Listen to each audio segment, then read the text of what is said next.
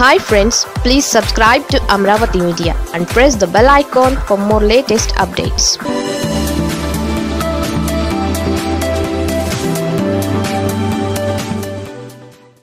లేఖ తర్వాత మరోసారి సుప్రీంకు జగన్ ఈసారి అఫిడవిట్ రూపంలో. సుప్రీంకోర్టులో జగన్మోహన్ రెడ్డి అఫిడవిట్ దాఖలు చేశారు. ప్రస్తుతం ఆ అఫిడవిట్ను supreme court chief justice S A Bobde పరిశీలిస్తున్నారు. ఇంతకీ విషయం ఏంటంటే మొన్నటి అక్టోబర్ ఆరవ తేదీన న్యాయమూర్తులపై Jagan supreme court chief justice బాబ్డేకి ఫిర్యాదు చేసిన విషయం తెలిసిందే.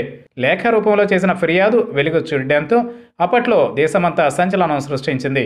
ఆ ఫిర్యాదుపై ఇప్పుడు చీఫ్ జస్టిస్ విచారణ మొదలుపెట్టారు. Supreme court justice N V Ramana high court chief justice J K మహేశ్వరితో పాటు మరో ఆరుగురు జడ్జిలపై జగన్ ఫిర్యాదు చేశారు. ఫిర్యాదు చేసిన మూడు నెలలకు బాబ్డే విచారణ మొదలుపెట్టారు.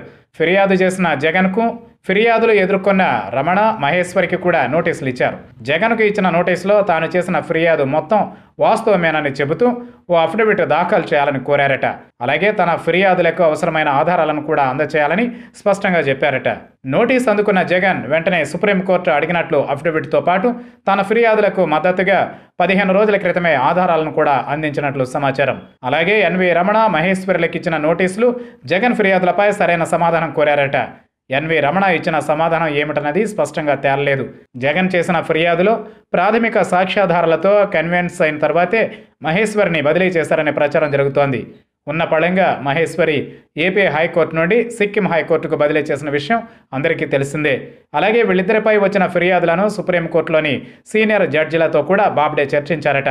ఫిర్యాదులపై లోతుగా విచారణ జరిపితే కానీ వాస్తవాలు బయటకు రావని మెజారిటీ జడ్జీలు సూచించినట్లు సమాచారం.